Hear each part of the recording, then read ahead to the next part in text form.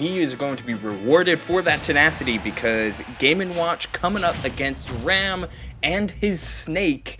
And Game & Watch Snake has been known to be uh, pretty problematic for Snake. Yeah. Oh, just in so many facets.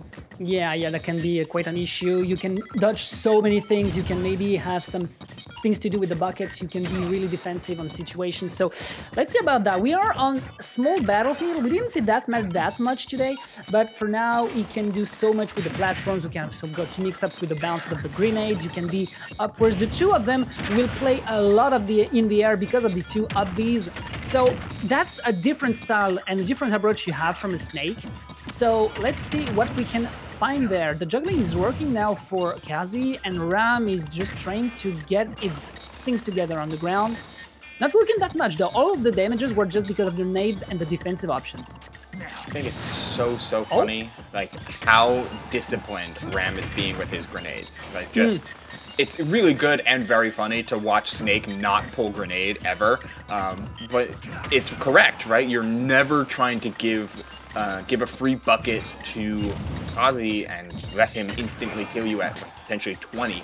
So you just play with Snake's boxing options, you play with C4, and you try and make sure that you are as selective as possible when going for your big damage plays, because you don't need all that much damage to close out uh, Game & Watch with one of those up tilts. That was the weak hit, by the way, you know. yeah, that was a weak hit. Yeah, that's that's what's infuriating. That's the weak point. But because it is one of the top 10 and top 5, if I remember correctly, lightest character of the game, well, you just need to accept this and uh, move on. Okay, I have some explosives too, and that forward air will make you in uh, some recordings of your wars, my little snake, because you just got this explosion right in your face, and we are in a resetting situation. The rhythm is strange, though. Absolutely, especially seeing Kazi like uh, forego a juggle in favor of trying to find like a, another judge right there. Like just, it's not the same type of snake you're seeing, right? Like it's just mm.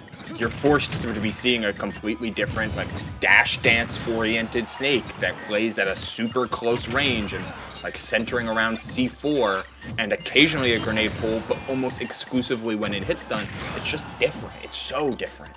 Yeah, yeah, the style is like a bit, yeah, because he can't, he can't use a much of his projectiles, he knows that's a risk, and yeah, he's trying to get maybe some situations in mid-range, he's trying to get the dash attack, he's trying to get the down tilt, we saw that previously, the forward there is uh, really, really good from Kazi, I think, in a defensive way, because he just needs to, yeah, okay, you're getting hit, yeah, I know you're on your shield, you're trying to get some approaches, and I'm just here to destroy that kind of changing style, and if you're not used to it, maybe I can get in, and for now, we have this Game & Watch just trying to get the control of the stage. The sausage are on the wrong way, my friend, and that's not on the good context here. Good kill on the forward.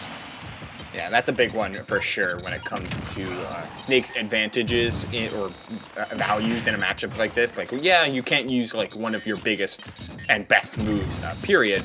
But Game & Watch at the very least does have a really bad uh, lie down animation, so down to down throw into forward tilt does start working, and it and is a true combo. Yeah. Okay, we have some juggling here. Good nair, good good uh, conversion, good mix-up, sorry.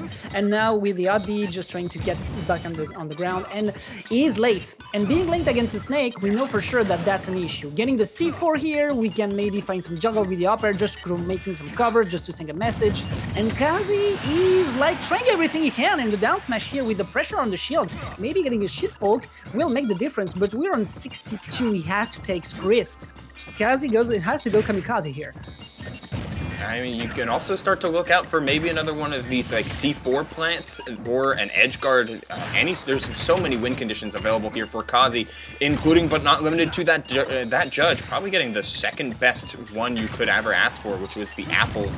Get, even just two apples healing so much when uh, for Game & Watch which as we saw, like up tilt can close out stocks at close to 80, so that extra 20%, it can certainly matter, and it absolutely did, the up tilt landing, and he just barely survived. It was almost, almost a kill at 80, that's why his character is uh, like, I am convinced it is his up smash, and they just messed up in the coding. Like, look at this! Like, everything goes well here, we have six frame, we have the range, we have the kill power. It is such a good move, and here the whiff will be that good punished, that well punished from Ram.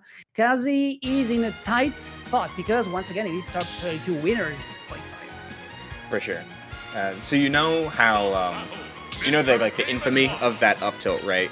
Yeah. Uh, the, the reason why it's so big, and well, in Ultimate now it's because it was in Brawl, but in Brawl, the up tilt was a even bigger because Snake's standing like character model was bigger. But when Oh. they reduced the character model size to be more in line with the rest of the cast, they never reduced his hitboxes. So it was just massive. Okay, so they had to think about it during the entire of Smash 4. I understand, I understand. that's that's why they, they, it, it put in a lot of work here. Okay, so a lot of work here tried uh, once again from Kazi here with the bombs, once again in vertical situations on the red zone to get some heal, some some damages. We're on a 65 to 65. Who can make the difference here? The down tilt on the mid range is getting once again Kazi on just trying to get some approaches. Is dash attack here will try to make the difference. But for now, with this small stage, and which is, if I'm sure, one of the biggest and best stages of Snake, he needs to be careful. It's looking good on the when it comes to just the even overall total. I would uh, for damage, but I would like to see Kazi com- uh, acknowledge some of the disadvantage options that Ram has. He's not pulling grenades. We already know Yeah. that. We've been talking about it all set. Not even But- trying the Nikita though. yeah, he's not trying the Nikita. He's only really going for C4 in disadvantage, like a B reverse C4. That's his one mix-up, that and fast fall air dodge. So I want to see Kazi start to try and cover that a little bit more. If you know you're a potential when landing, he's changing out all of his other potential mix-ups for exactly two. Like, play the coin flip. You've got the coverage. You've got the airspeed to do so. Meanwhile, Ram, of course, has that up tilt, and he does take the first stock. Yeah, when I saw when I saw the guy going with the parachute, I think he saw he know that he was dead. He was just looking at the guy, just just muscular veteran looking at him, and I'm like, nah, that will be a ranger on your face, bro. 150 full rage, maybe he can capitalize on. What the? Oh my god! He... Okay, well, the Cypher just abandoned the snake on the worst moment. Yes, technology can be sometimes a little tricky, huh? Oh, finally a grenade pull there. Makes sense though. Those are the times when you absolutely need it. When you want to see, when you expect Kazi to be approaching you uh, you with some kind of like nair or something. Still, the, the damage speaks for itself. Game & Watch is just able to dominate so, so much and turn any sort of juggle into so much damage, yet no dice, and we're at kill percent. Mm, That's one of the best, biggest issue for the next uh, interactions. 48. Oh, the down smash here to trying to get the two frame. That would be smart, but no. Once again, it uh, very hard with the recovery from the uh, Game and Watch to get these sweet, sweet two frames. Let's see on the platform. The air dodge on sideways is quite laggy, and the up B will finally get some catch here with the back air. Good trade. Yeah, absolutely. And amazing spacing and just flat out call out on the part of Ram, expecting Kazi to go high with that uh, with that high back air, and it worked out exactly as you draw it up for Ram. Once again, able to establish a lead and establish a little bit of damage on that too with the down air out of shield, 44% with a ton of rage and no means to approach whatsoever. Now we have uh, once again, once again the spacing. Like we saw that with the back, but we are we are seeing that now with the down. He's trying everything just to get the guy out of range, and he needs it. He needs it. That's why he is trying to capitalize a lot of uh, Smash because it is such a small stage to get air dodge here to get back on the ledge. And now he will get punished with finally some big old chair in his face. Uh, he has to be careful because once again you are saying that uh, we have a good damage pool from the from the Game & Watch, so he has to open his eye.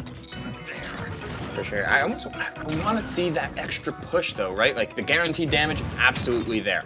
And it's been looking really good. These nair is going to mean so, so much, especially getting into a juggle, find another nair, so much instant 70. Edge guard, like you have a snake going low. You have these opportunities hmm. to cover. Like we just need to see Kazi commit a little bit more. But the fast fall air dodge does get him, uh, does get Ram down to the ground in enough time for that frame six, frame six up tilt to close out game number two. Yeah, he tried the down smash here, so it was too late because of the falling. Maybe he was expecting him to be on the platform and play safe, but nope, my friend. That will be a big old shoes right in your face, and you'll have to get inside losers for the qualifiers top 32. That was a good call. That was a, like a really, really good call from uh, from Ram here because you know the guys was pressured. He was trying maybe to get something just to be maybe a little more cheesy, get, getting find find some bury. But no, once again, the capitalization on the um, on the small and the mid range from the snake was like so good.